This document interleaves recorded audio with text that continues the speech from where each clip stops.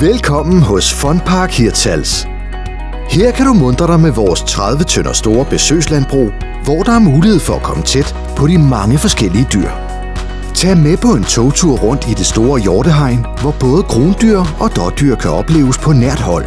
Mød ræve, emuer og ikke mindst de flotte dårdyr og krondyr, som du kan håndfodre med brød. I parken er der også andre eksotiske dyr, såsom næsebjørne, vaskebjørne og dværgpapegøjer. Parken er det perfekte sted at besøge for hele familien, og der er mange sjove aktivitetsmuligheder for børn.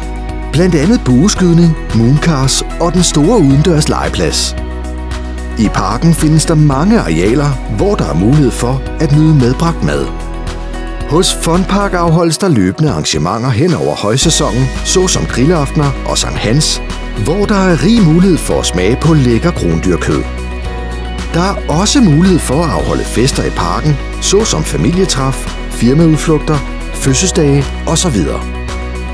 Du finder os på adressen Minkvej 10 i 9850 Hirtshals. Kontakt Fondpark og hør nærmere om de forskellige muligheder. Filmen er produceret i samarbejde med Restaurant Abstrakt.